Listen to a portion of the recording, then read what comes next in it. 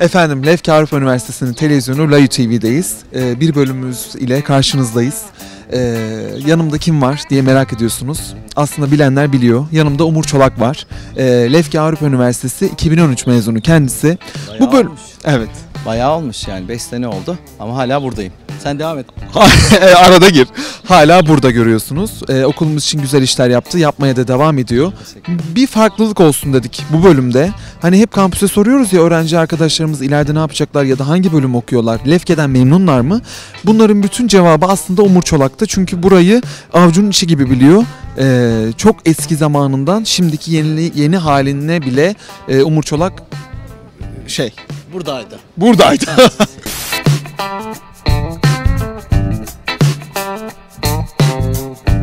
Umur'a ilk sorumla başlıyorum. Umur 2013'te mezun oldun ama tabii bunun öncesi var yani okula ilk geliş anın. Evet. Geldiğinden mezun olana kadar ne değişti? Şimdi 2018'deyiz. Layu'da ne değişmiş? Yani e, 2008'de buraya geldiğimde bazı binalar yoktu bile.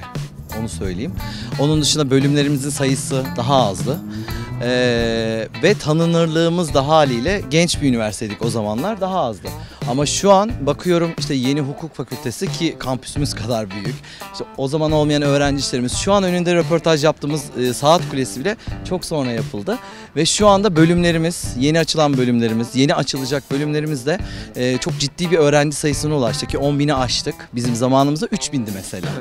Yani bu iki katından bile fazla bir rakam demek. E, gelişen, değişen bir üniversiteyiz. Yani az önce söylediğim gibi hani çok ama çok hızlı büyüyoruz ve bu beni çok mutlu ediyor. Peki mezun oldun. Seni ne bekledi? Yani Lefke Avrupa Üniversitesi'nden mezun olmak sana ne kattı? Ya da beklentini karşıladı mı? iş başvurularımı yaptığım yerde ya da iş yerlerini beni davet etmelerinde hani CV'min büyük artısını gördüm. Çünkü ders içeriklerim sektörümle bayağı şeydi, ilgiliydi. Hani uygundu.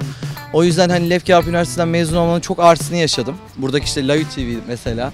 Ee, İlklerindendir. ilkiyim hatta. Mesela bu ekranın şurada logosu var. Onun ilk çekimini ben yapmıştım. Logomuz bu tarafta. Bu tarafta. Artık bu tarafta. Ee, şey mesela çok güzel imkanlarım oldu. Layu TV'de, Layu FM'de, e, kendi okul gazetemi kurdum. İşte bunları hep bana Lefke Avrupa Üniversitesi sağladı. O yüzden iş hayatımda çok faydasını gördüm. Ee, peki Umur Çolak. Efendim? Şimdi mezun olacak arkadaşlarımız var. Hı. Tamam sen kendince bahsettin CV'nin ne kadar e, diplomanın ne kadar önemli olduğunu. Ama buradan mezun olacaklar. Ne bekliyor hayatta onları? Sonuçta KKTC'de çalışmak isteyen de olacaktır. Ben gibi. E, Türkiye'ye memleketine dönmek isteyen de olacaktır. Evet. Bir kere çalışacaklar ama bu 7-24 ders çalışalım anlamında değil. Öyle sıkıcı şeyler söylemeyeceğim ama konferanslar, etkinlikler bunlardan sertifika programları doğuyor.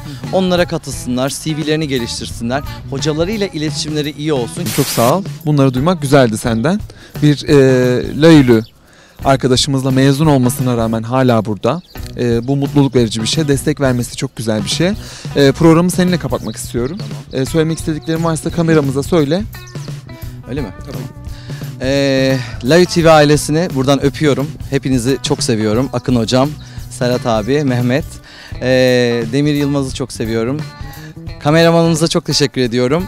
Layu TV'de önümüzdeki hafta yepyeni bir bölümle Demir Yılmaz Kampüs Kampüs sorduk. Kampüse sordukla sizlerle olacak. Görüşmek üzere.